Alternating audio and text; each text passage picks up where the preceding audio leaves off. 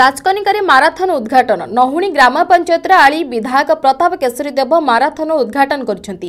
ଦୀର୍ଘ ଦିନରୁ ଲୋକମାନେ ଏନେଇ ଦାବି କରି ଆସୁଥିଲେ। ଦାବି ପରେ ରାଜସ୍ୱ ନିରୀକ୍ଷକଙ୍କ କାର୍ଯ୍ୟାଳୟ ଉଦ୍ଘାଟନ କରାଯାଇଥିଲା।